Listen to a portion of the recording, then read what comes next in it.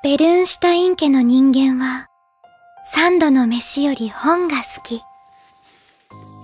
どんなに美しいドレスよりも、どんなにきらびやかな宝石よりも、私の心を動かすことができるのは、本だけのはずだったのに。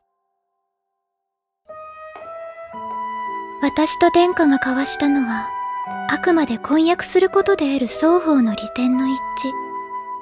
恋愛感情はないのだから。エリアーナ、君に贈り物があるんだ。君が喜ぶかと思って。ありがとうございます。クリストファー殿下。